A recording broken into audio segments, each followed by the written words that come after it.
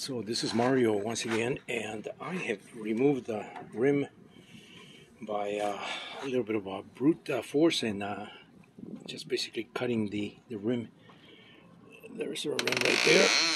Ah, so I had to cut it in half, cut the top half first, and then I tried to pulling it from the from the bottom with a with a three jaw puller that I showed in my other video. I, I packaged that already. I don't need that anymore. So and that did not did not even botch this you know so it's been very very tight here. We can see the, you can see the surface of this uh, shaft this darker area here. This is where it really grabbed onto the the wheel. There's no way that I was going to take that out. So I had to cut it. Now I'm faced with another challenge which is uh, removing this. Now I was able to um, I was able to knock this uh, ring a little bit further by tapping it here carefully so that I don't ruin the surface of my shaft. My shaft is fine. I want to keep the shaft. It's a solid, solid shaft. shaft. It's a great shaft. I really like the way that this was made, manufactured. It's got a, the clip for the ring, the C clip right here, which prevents the wheel from going in. On top of that, these have uh, spacers here, plastic spacers, ABS spacers. I can always make one, another one. I, I had to destroy that one to get a little more access, remove the, the clip which I thought was preventing the wheel from from giving in a, a, a little bit uh, that way. So I tried to force it inward, outward, uh, outward, and none of those things were working. So I had to cut it. But now I have to do the same thing, not cut it, hopefully, but I have to do the same thing here. So I've been dousing this again with a uh, um, with some um, some uh, uh, penetrating oil and uh, I was able to get this a little bit further in so I'm hoping that I can knock this from the side here somehow. It's very difficult to knock this without having a, a clear space here. This is also in the way and it's kind of a little bit tight here.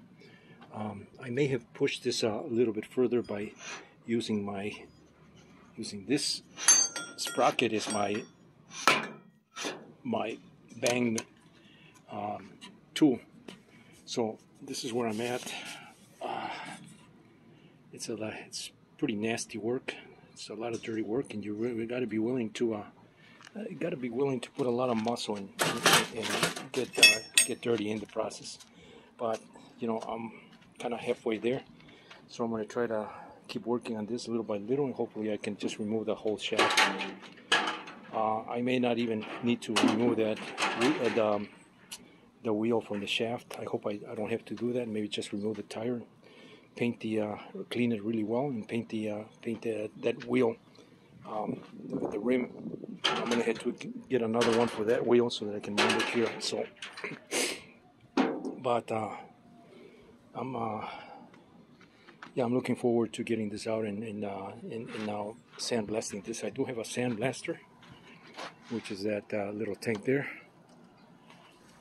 And it's been sitting there there for years. I have not used that. Uh, I used it one time, long time ago, and I'm gonna have to uh, uh, reuse it. Uh, hopefully that is okay, and I can reuse it here. If not, I'm just gonna pressure wash this and maybe just sand sand it with a with a uh, drill and just a, a wire brush. So, but this is the this is the killer here, the shaft.